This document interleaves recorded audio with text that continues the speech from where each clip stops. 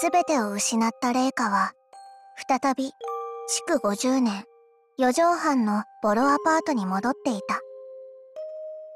またここに戻ってきちゃったか。働き口はなく、配信者にも戻れない。前よりも状況は悪化していた。ネットは、よし、ミトラのことはもう誰も話題にしてないな。自身の炎上をもって、ミトラの炎上を消す。ミトラへのせめてもの償いがこれだった。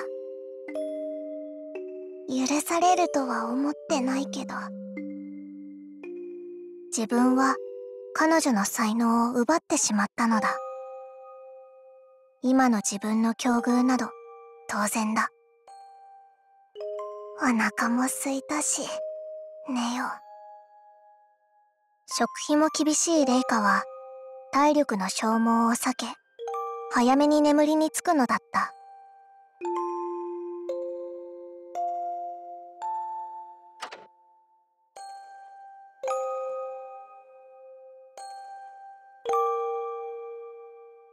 あれ？ミトラどうしたの？何ってイラスト描いてるな。レイカこそ大丈夫？それより見て。コンペ用のイラストできたんだ。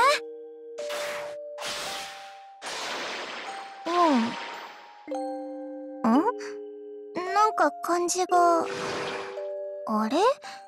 アイレベルと影が変？少年の目線を意識してるの少年向けイベントのコンペだからね。世界の広がりとか輝きを強調してるの。それであえて基礎を無視してるんだ。私にはできない発想だな。私は麗華の絵も好きだけど。わ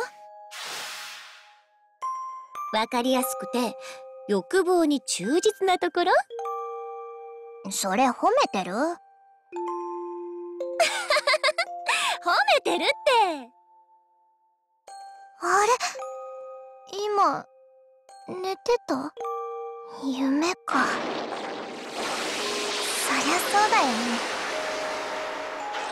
ビジネスリテラシーを学ぶといい。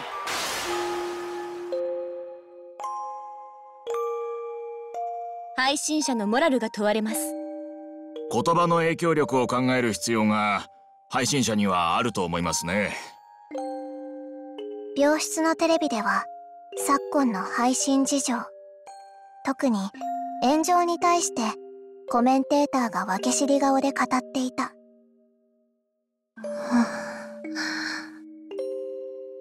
ミトラは無言で画面を見つめていた。番組で取り上げていたのは自分の炎上に始まりそれを仕掛けた獣人の炎上だった。レイカ。番組では一連の事件をよく調べ、被害者、そして加害者のことをその素性まで細かく報じていた。